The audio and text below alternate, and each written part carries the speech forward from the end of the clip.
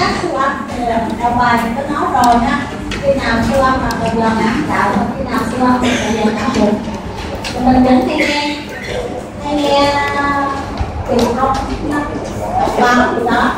Thì người ta vẫn khuyên là mình thay kỳ, nên siêu âm ít nhất ba lần. Là trong 9 tháng hoặc thai mỗi 3 tháng siêu âm một lần đỡ nhất. Tuy nhiên là nếu mà có biến kiến gì đó thì cái lần siêu âm của bác sĩ người ta hẹn giờ sẽ dài hơn thì đó là về mặt lý thuyết rồi ha. Đối với những cái chỗ mà người ta không có, người ta không có điều kiện. Cái thật ra nếu mà nếu các bạn có mình nhà đi khám thai hiện nay, thì các bạn sẽ thấy ở những cái tháng cuối của thai kỳ hầu như là chắc một tuần, hai tuần là người ta sẽ siêu âm để làm gì?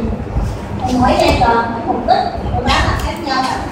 Ở trong cái 11 một người ta siêu âm để xem là có thai hay không có thai ha. nếu mà có hai rồi á, thì là vị trí có đúng nằm trong lòng tử cung hay không? Hay là nằm ngoài tử cung? Và bao nhiêu thai một thai hay là hai thai hay ba thai vân vân. Rồi cái sự phát triển của thai nó có bình thường hay không? Hay là nó có những cái dấu hiệu gì đó mà dự hậu? Cái thai này nó có dự hậu xấu hay không? Dự hậu xấu nhất của thai kỳ ở giai đoạn này đó là xảy thai sớm ha. Xảy thai sớm hay là thai lưng rồi cái nữa là có thể giúp cho người ta phát hiện những cái dị tật mà nên phát hiện sớm ở cuối năm tháng 11 tức là trong giờ từ tuần 12 là phải phát hiện rồi như là thai vô sợ nè à, thai vô não. Thì hai cái trường hợp này đó là cái thai này không thể nào nó sống được sau khi sinh ra. À, trong thai kỳ đương nhiên không có sợ không không có sợ vẫn sống được. Nhưng mà sinh ra thì chắc chắn là nó chết qua là những cái dị tật như là tăng là huyết vùng cổ nè, hay là có bị rối hay là những cái dị tật lớn về về tim mạch về cơ xương vân vân. Thì phải phát hiện sớm để làm gì? Để nếu mà người ta nghi ngờ nó có liên quan tới bất kỳ những sắc thể, thì ở giai đoạn này người ta sẽ xin tiếp gây nhau để làm bộ nhiễm sắc thể. Còn nếu như mà để trễ qua 12 tuần rồi mà muốn làm bộ nhiễm sắc thể là phải đợi tới lớn bằng 16 tuần mới chọn ối được. Ha và cuối cùng, ở năm đến 11 là ngoài cái chuyện đánh giá cái thai là người ta phải đánh giá thêm tử cung với buồng trứng. Để tìm bệnh lý của tử cung với buồng trứng. Ha mà những cái bệnh lý của tử cung và buồng trứng, để khi mà thai lớn lên, rất là khó thấy.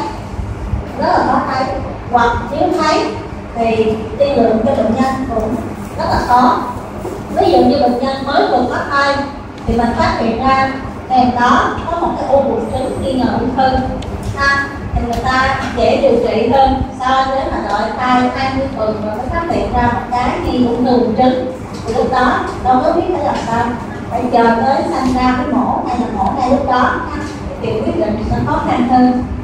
Rồi, qua ba cái việc thai thì người ta siêu âm chủ yếu là để người ta phát hiện dị tật thai. Hay là mình còn nghe cái tên là siêu âm hình thái học hay là siêu âm bốn chiều và qua năm tháng 13 thì ngoài cái việc coi lại dị tật thai và là phát hiện thêm những cái dị tật mà nó xuất hiện trễ, thì người ta sẽ đánh giá sự phát triển của thai, xem cho nó có suy dinh dưỡng trong tử cung hay không, hoặc là đánh giá thêm phần phụ của thai, như là nước ối như là bánh nhau ha để nói thêm một chút về cái siêu âm bốn chiều. Theo mọi người á là siêu âm bốn chiều là siêu âm gì? Siêu màu. À, hôm mới một tuần rồi có một bạn dẫn về nhà đi siêu âm bốn chiều. À, ha bạn cũng tính nhìn nhìn thôi cái bạn hỏi ôi chị ơi sao hồi nãy giờ em thấy màu trắng màu đen không không có màu gì hết trơn? Mà chứ không phải siêu âm bốn chiều là siêu âm màu mà. Mình hay hiểu nhầm cái siêu âm hai cái siêu âm 2D là siêu âm trắng đen đúng không? Các bạn cứ hay nghĩ tới cái siêu âm 2D là siêu âm trắng đen. Thực ra là siêu âm hai chiều. Còn cái màu trắng và màu đen người ta có thể lựa chọn được. Người ta lựa chọn giải đầu nó đi từ trắng và đen. Đó là cái màu mà dễ chịu cho con mắt nhất và dễ nhìn thấy nhất tổn thương ha. Còn nếu các bạn mà khoái có màu thì đôi khi người ta sẽ bỏ màu vào cái mạch máu nào đó của bạn. Các cái mạch máu nó bắt màu lên đó thì siêu âm màu. Còn là người ta sẽ thay đổi cái giải động, cái nét của nó ra thành màu vàng vàng toàn bộ cái màn hình màu vàng đó từ vàng tới cam cũng là âm màu cái siêu âm màu đáng chịu. Đó nên mà cũng nên giải thích cho người nhà của mình có người nhà của mình ở dưới quê rất là vui đó là ở dưới quê tôi siêu âm màu mới thấy được cái sỏi thận lên đây nó sẽ siêu âm trắng thì cũng không thấy cái sỏi thận TV tính TV bảo Giờ cho siêu âm màu đây, trở lại cái siêu âm bốn chiều của mình toàn bộ tất cả những cái gì để chẩn đoán ha, tất cả những cái chẩn đoán như là đo đạc hay là nhìn thấy hình ảnh gì đó bất thường đều thực hiện trên siêu âm hai chiều tức là siêu âm 2D ha. còn khi mà người ta nói cái siêu âm 3D và thường là người ta chụp cái mặt cái mặt đó và người ta chụp ra một cái hình khối của cái khuôn mặt nằm yên ở đó là siêu âm 3D còn nếu mà người ta còn quay thêm cho mình cái clip là ở cái khuôn mặt đó mình thấy cái miệng nó há ra hay là cái tay nó quơ quơ gì đó thêm chiều nữa là bốn chiều giờ đi con trên ba mươi mốt đê vài tiếng mà đúng không? Đó, thêm một chiều về là không gian là ba chiều thêm một chiều không gian nữa và bốn chiều là một chiều thời gian nữa chỉ vậy thôi. À, chứ không phải là dẫn ai đó đi siêu âm mà đi đóng trên siêu âm bốn chiều một cái thì cứ thấy trắng và đen rồi đem cái đĩa thì thấy trắng đen rồi tùy quá rất là tầm độ rồi, cái thứ hai trong siêu âm sản khoa mình cần nhớ đó là cái thuật ngữ, đó là tuổi thai tính. Trên siêu âm tức là mình đang trả cho mình kết quả là thai có thể trong khoảng mấy tuần á. Cái tuổi thai đó là cái tuổi thai tính theo ngày kinh chót và nó sẽ lớn hơn cái tuổi thai thần hai tuần. Ha, tuổi thai thần là cái tuổi thai mình tính theo cô tức là vào cái ngày mà thụ tinh ha vào cái ngày thụ tinh thì nói cho ta mình biết kỳ thường là 4 tuần. 4 tuần thì phải ở ngày thứ 14 cái bụng kê bụng trứng đúng không? Bụng trứng gặp tinh trùng mới còn tinh được cho nên nó mới lớn hơn cái tuổi thai tính này là à, cho nên nó theo ngày kinh chót thì nó mới lớn hơn tuổi thai thật hai tuần. Thì nói tóm lại rồi người ta có cưới ba tuần. Đúng không? Mới cưới ba tuần để siêu âm ra cái hai năm tuần. Được không được. Được à bắn bắt đầu đúng là đúng không? Vẫn được tới lúc đó mà người ta thì chạy vô hốt hẳn là "Bác ơi, em mới thứ ba còn thời giờ nó để năm tuần kìa chết em rồi không được. Mình phải giải thích cho bệnh nhân ha. Rồi một cái nữa cái chuyện khoa học chị không nhắc lại ha. Mình thấy là từ ngày đầu tiên là nó thôi chia giai đoạn tế bào gì kỳ đó cho tới mà nó chui vào tử cung và nó là khổ ở phần mặt tử cung thì thường cái hình ảnh đầu tiên mà người ta thấy được qua cái đầu dò nhãn đạo đó là ảnh cuối thai từ 2 tới 3 mm. Có nghĩa là cái tuổi thai này ít nhất phải là 4 tuần và 4 tuần rưỡi. Ha cho nên nếu mà mình có lỡ gặp một cái kết quả siêu âm nào mà thai hai tuần rưỡi, hay thai ba tuần phải coi lại cái sự chính xác của cái kết quả đó, ha không bao giờ mình thấy được thai hai tuần rưỡi đó ở giai đoạn mấy cái phôi này làm sao mình thấy được? Phải coi cái phim vi nó thấy chứ. Rồi hình ảnh đầu tiên hình ảnh đầu tiên của cái thai mình thấy trong tử cung đó là túi thai ha? Đầu cái túi thẳng bên trong và cái thành của nó hơi dày nhẹ hơi dày nhẹ. Rồi kế nữa là khoảng từ năm cho tới năm tuần rưỡi thì bên trong túi thai nó sẽ xuất hiện cái gân sắc hay là túi tổng màng thì gân sắc nó có ý nghĩa là gì? Nó khẳng định đây là cái túi thai hoặc ha chứ không phải là túi thai giả. Hoặc là giả hồi sẽ nói thêm trong phần thai ngọc tử cung cái nghĩa thứ hai là cái số lượng gân sắc nó sẽ giúp cho mình dự đoán cái số túi ối trong cái trường hợp đa thai giai đoạn sớm. Ha, đa thai giai đoạn sớm.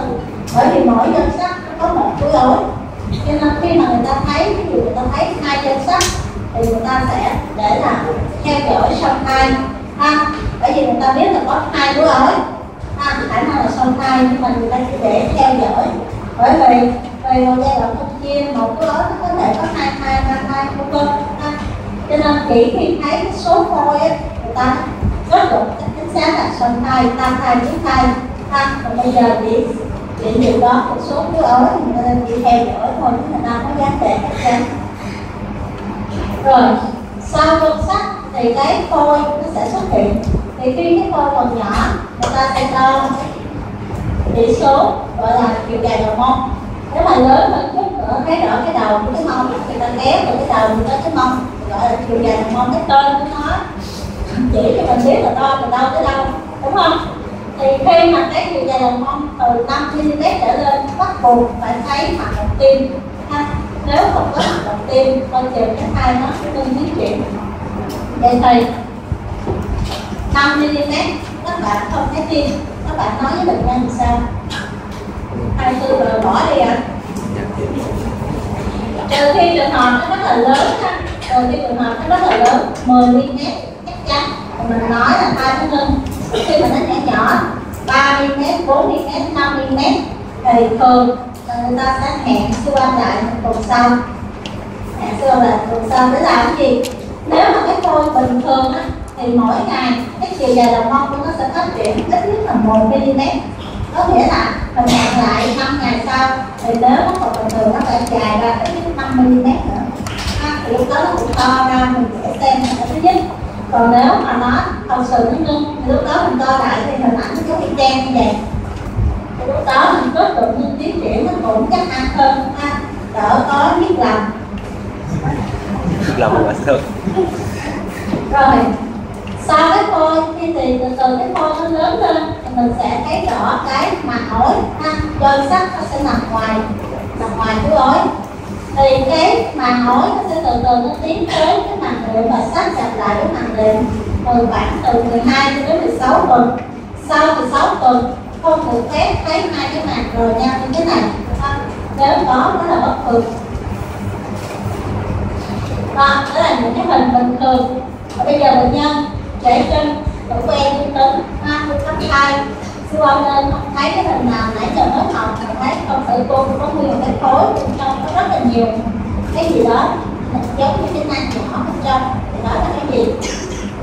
Thay trừ ăn. Nếu toàn bộ mà mình không thấy hình ảnh có thai, là thay trứng toàn phần. Còn nếu vừa thấy thai mà vừa thấy một chỗ giống như thế này thì là thay trứng tam phần. Ở trong ta có trường một là cái giai đoạn này để mình chẩn đoán cái số túi ối cái số đánh nhau chính xác nhất trong những trường hợp đa thai. Ha. nếu mà mình để nó lớn lên tới mình thấy cái thai mình to bừng xác định số đánh nhau và số túi ối rất là khó. Thì trong trường hợp đa thai phải lưu ý, ở giai đoạn này cái đồ người ta trả lời cho mình là mấy đánh nhau mấy túi ối bởi vì tiên lượng của mà ví dụ như song thai, hai nhau, hai ối nó khác với song thai, một nhau, hai ối hoặc là một nhau, một mối bởi vì cái biến biến thành trường máu song thai, nó sẽ thay đổi theo cái số lượng bánh nhau và cuối ối cái gan này, ở đây là cái vùng trán ha. Ở đây là ở cái cái sau vùng trọng thì ở đây cái cổ, thấy có một cái nang bên trong có rất là nhiều vết. Thì đây là nang mạch huyết vùng cổ. Thì nang mạch huyết vùng cổ nó thường liên quan tới bất thường những sắc thể cho nên khi mà thấy nó, nếu mà ở vòng vòng 12 tuần người ta sẽ sinh biết cho nhau. Ha. nếu mà để trễ hơn phải qua 16 tuần thì để cho hỏi thì coi được những sắc thể của em bé có bị trisomy 13, 18, 21 gì hay không? Ha. ở đây cũng vậy bắt buộc phải làm bộ những sắc thể khi thấy nó đó là có bị rốt thấy cái đầu nó nè ha cái chỗ cái mặt nè cổ nè ngực bụng. Ở ngay chỗ dây rốn cắm vào bụng nó lò ra thành bụng. Thì cái túi thoát vị này nó có thể chứa ruột chứa gan hay bất kỳ là nào trong ruột để thời gian lâu dần nó sẽ đưa ra được người này hết. Có khi mà nó khói quá lớn, nó chịu chứa ruột chứa gan chứa dạ dày luôn ha hình này mình thấy ở đây cái mặt ha, ở đây nó thể làm cái sọ và mình lại không thấy mặt sọ, xương sọ, thì nó sẽ có khoảng dày, đúng không? Ở đây mình thấy một cái đám gì đó mô mềm ở trên đây thì là mô não trường hợp này là thai vô não. Ha? Cái não mà nó tiếp xúc trực tiếp với nước ối á, thời gian lâu dần nó cũng có thể tiêu đi. Thì lúc đó cái thai này nó trở thành thai vô não. Thì khi thấy thai vô sọ hay vô não thường là người ta sẽ chỉ định bỏ thai. Bởi vì cái giáo sinh sanh ra nó không sống được. Còn cái chuyện mà chịu bỏ cái không từ bệnh nhân ha? Có bệnh nhân thật ra khi bệnh nhân đi học cũng có nhiều bệnh nhân nó không chịu bỏ người ta nói là sanh ra chết người ta chôn. Ha tại vì lúc đó nó chết thì người ta chôn. Còn bây giờ thì tim nó vẫn đang đập nó vẫn đang xong nếu mà bây giờ mà bỏ là người ta giết con người ta không chịu. Thì bây giờ tôn giáo thế nào người ta không chịu. Cái chuyện đó, cái chuyện mình khuyên là chuyện của mình. Mà quyết định hay làm thế nào đó là chuyện của bệnh nhân ha.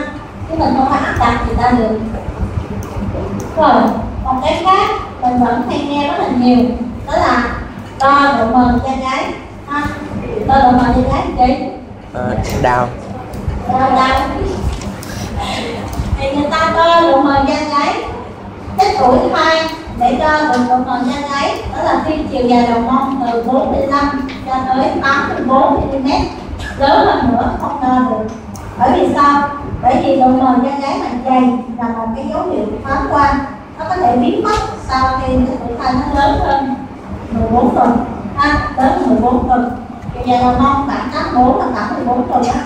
Khi mà nó lớn lên có thể là mất lúc đó các bạn ba nó bình thường không có nghĩa là nó không có bất thường hiểu không? Và trước đó nó có thể nó dày rồi bây giờ nó trở về bình thường. Thì đo độ màu da gáy cái con số mà bạn người ta nhớ nhanh nhất đó là con số 3 rõ hơn 3 là nguy cơ thấp tăng đến hơn 3 là nguy cơ, cao. Nhưng 3 mm nhưng mà thật ra để mà tính cho nó tới nơi tới chốn là người ta phải cũng nhập vào cái phần mềm. Nhập vào một cái phần mềm để tính. Trong đó người ta sẽ yêu cầu tuổi mẹ. Là mẹ bao nhiêu tuổi? Mình cũng hay nghe là mẹ mà để chạc vàng sao mới sinh con thì cũng nguy cơ bị dị tật càng cao, đúng không? Có tuổi mẹ. Có, từ ngày đầu năm có là cái tuổi thai mà thực hiện cái đo này. Tới nữa mới tới là cái dây gáy việc tiền vân vân. Thì nó hỏi cái gì nhặt vô cái đó? Nó sẽ tính ra cái thai này nguy cơ bị trisomy 13 là bao nhiêu? Một trên bao nhiêu? Nguy cơ trisomy 18 một trên bao nhiêu? À 21 là một trên bao nhiêu? Tính ra rồi thì mình có một số mình mới tư vấn được cho bệnh nhân. À, em bé này là nó có nguy cơ thấp đối với những cái đó nguy cơ cao đối với những cái đó. Chú ý là chỉ là nguy cơ thấp và nguy cơ cao thôi. Chứ không có chắc chắn một trăm phần trăm là bị mắc bệnh. Bởi vì khi mà bạn tính ra ví dụ như tỷ lệ hòa bị mắc trisomy 21 1 trên 100 đó là nguy cơ cao. À, có là 100 đứa sẽ có một đứa bị à, nhưng mà đâu có ai chắc con của bà nằm ở con số 1 hay là con số 99 đúng không? Đâu có đâu có trả lời được. Cho nên là người ta tư vấn là người ta tư vấn là nguy cơ.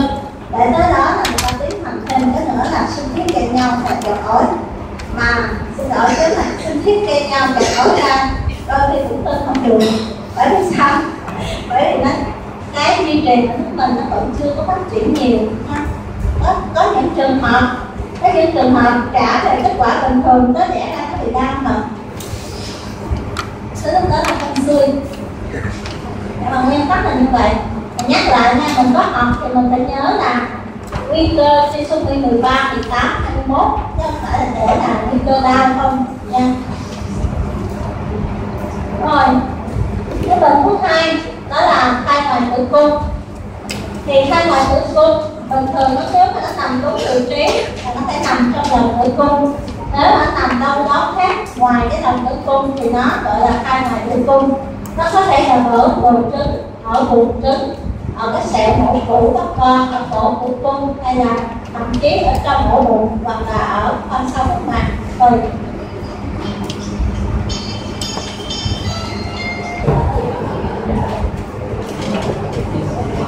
thì trong những tất cả các vị trí này á, thì cái vị trí thường gặp nhất là cái bồi trứng. Ha, là cái bồi trứng. Thì cái dấu hiệu mà chắc chắn một trăm phần trăm để mình nói đó là thai ngoài tử cung á, thì là mình thấy ở trong tử cung không có túi thai mà có một khối thai là tử cung bên trong có phôi, có tim.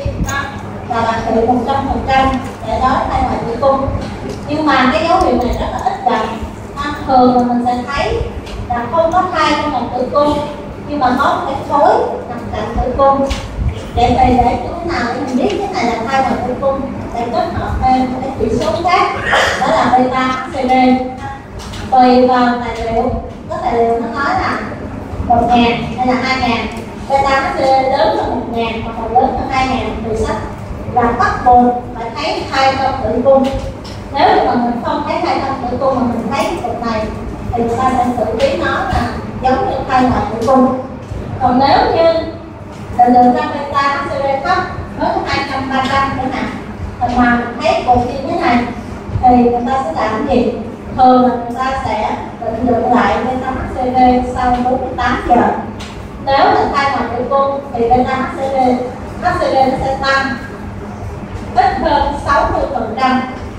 Nên ví dụ lúc trước 200 bây giờ mới có 48 giờ sau thì có 250 ha đó là thai ngoài tử cung còn thai ngoài tử cung. Còn nếu mà thai nó nằm trong tử cung và nó tăng từ gấp phải lớn hơn 60 phần trăm là nhất và mà thường sẽ tăng gấp đôi.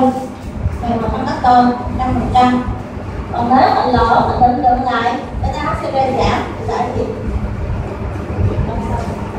hoặc là cái thai sớm trong tử cung xảy ha hoặc là cái thai ngoài tử cung mà nó ngưng tiến triển, tức là nó lưu á.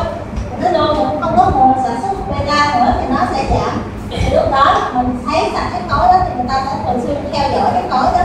Nó cho bệnh nhân siêu âm tới lui mỗi tuần để coi cái khối đó nó có tự tiêu biến hay không. Ha.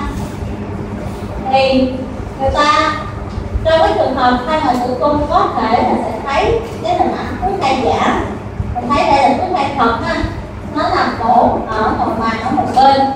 Và cho nên là nó sẽ nằm đờn cong mình thấy nó nằm đờn cong một bên của cái tử cung khi mà cắt ngang và khi mà mình cắt dọc, cắt ngang gì, nó cũng hình tròn. Là cái thứ nhất, cái thứ hai là mình vẫn thấy được, cái đường nội mặt bình thường, cái đường cái đường giữa nội mặt bình thường.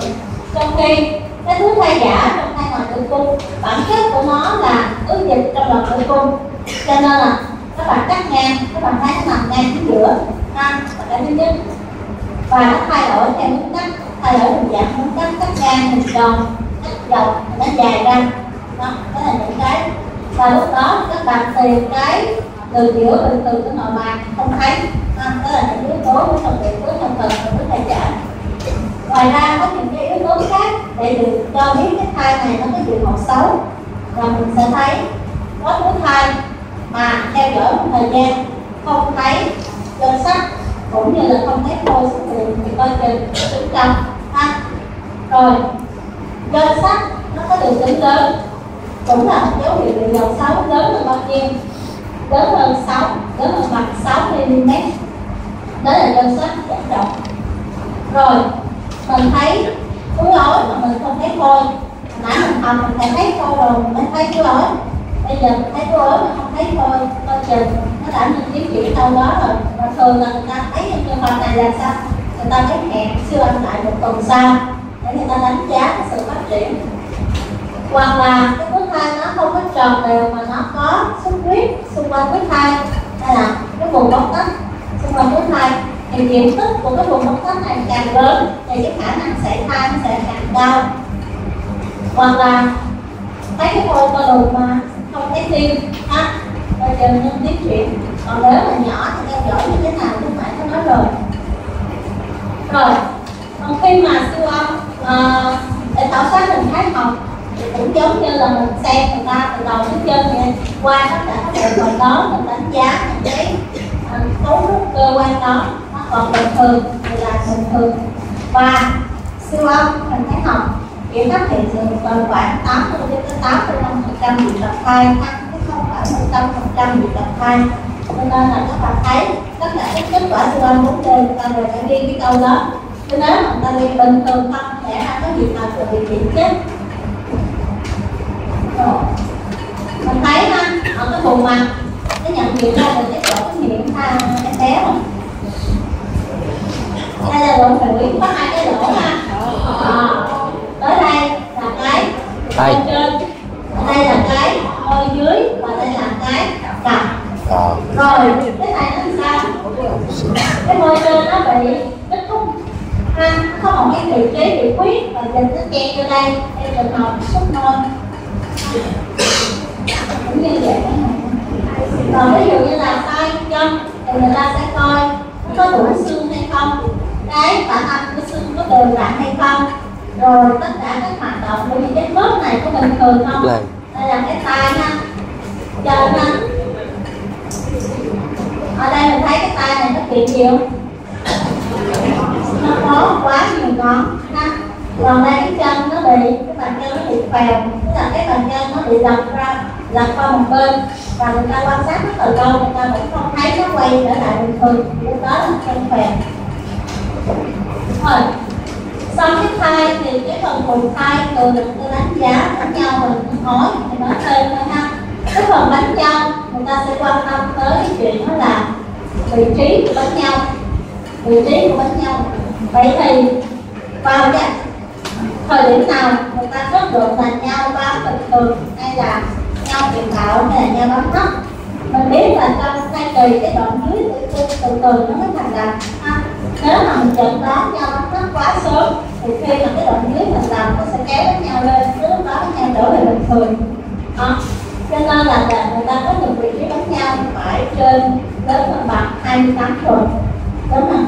Lớn hơn bằng 28 tuần và lúc đó là người ta sẽ xem cái mép khoảng cách giữa mép dưới với nhau với cái chỗ trong cổ tử cung và để quan sát rõ cái nét dưới, cái khoảng cách này thường người ta phải siêu âm nhã âm đạo từ mặt này từ mặt này từ mặt này, phải siêu âm nhã âm đạo mới thấy được. Riêng cái mặt này, thì thôi, siêu âm nhã bụng cũng thấy, ha.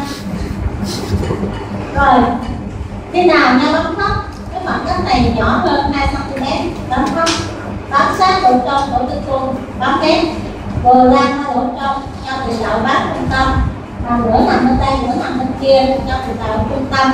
Ha. Và khi mà có cho từ tạo rồi cái người ta cần xem nữa là gì? Nhau cài năng lượng bởi vì sao? Đặc biệt trên những cái bệnh nhân mà có mỗi cái thai phụ thì rất là dễ bị nhau cài năng lượng ha. Và nhau cài năng lượng thì cần phải chẩn đoán trước sau bởi vì sao? Để người ta điều khỏi cái cuộc sống cho nó tốt. Ví dụ như thời điểm chấm dứt cây kỳ nếu mà để càng lâu, cái nó cài lên được, nó ăn ra ngoài càng nhiều rồi đến những cái cơ quan khác khó xử trí. Ví dụ ha, hoặc là nếu mình lỡ ra ngoài dính vào cơ quan khác khi mà người ta quyết định mổ lấy thai thì nên mời những cái bác sĩ chuyên khoa đó, ví dụ ăn vào bàng quang thì vẫn mời chúng ta nữa. Ăn vào ruột thì mời chuyên khoa ngoại tổng quát dĩ nhiên là sự tiến tốt hơn là bác sĩ sản khoa, đúng không? Rồi, dự trù máu, ha thì trù máu định kỳ cho bệnh nhân chứ không phải tới lúc đó mới chạy tất cả thì máu. Hoặc là hiện nay ngày xưa thì ngày năng lượng và cắt bỏ tử cung. Còn hiện nay thì người ta có cái đang có cái uh, đang có không biết kêu là gì nó nói phong trào về trường. Đang nói gì người ta đang có một cái hướng xử trí là ờ, là bảo tồn tồn trước khi mà người ta mổ thì người ta sẽ yêu cầu mình đánh giá người ta cái vùng cài năng lượng là bao nhiêu. Để coi người ta có bảo tồn được hay không. Thì người ta cứ nạo nạo nạo nạo cái vùng nó cài năng lượng để, để giữ cái tử cung lại. Rồi không để